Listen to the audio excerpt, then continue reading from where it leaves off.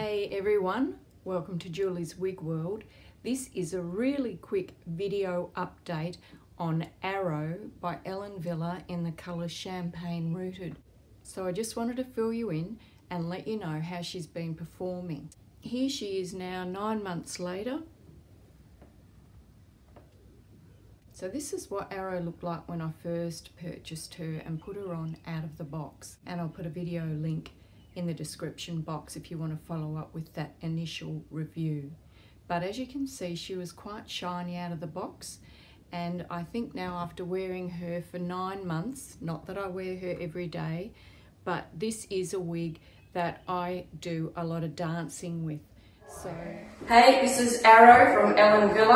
I've just been dancing for three hours straight and I think she's still looking pretty fantastic. So so far, she's a 10 out of 10 from me.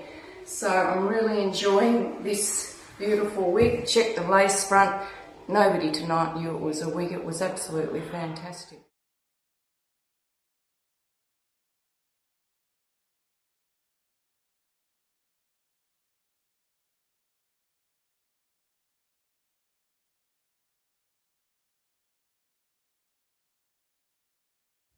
So this wig gets really put through the wringer. There's a lot of friction happening on the hair fibres when you dance, particularly Latin dancing. The shine is definitely diminished. It may even need a little bit of a condition. As you can see here, arrow does tend to tangle. It is one of the flaws in this wig, but nonetheless, it's a beautiful wig. And if you look after her and if you are going out into the elements, then tie her back or tie her to the side.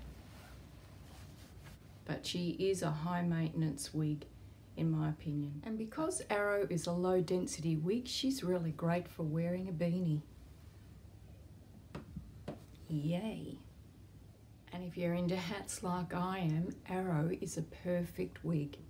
And although I love Angelica, which has a standard cap, I couldn't wear her with a beanie or a cap like this because there's just too much permatease and too much volume up the top.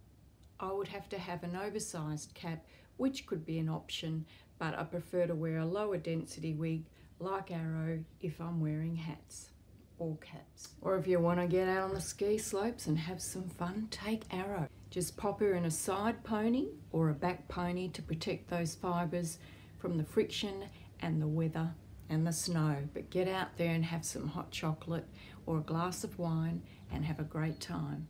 And don't forget about Arrow in the summer. Get more use out of her and just put her in a messy updo. It doesn't matter that she's a long, luscious wig. She's still very versatile.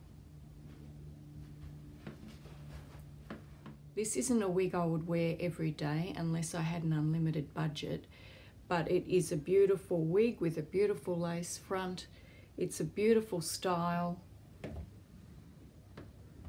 It's great for an updo. So, summer or winter, get out there and put a bit of arrow in your life. You won't regret it. She's a beautiful wig.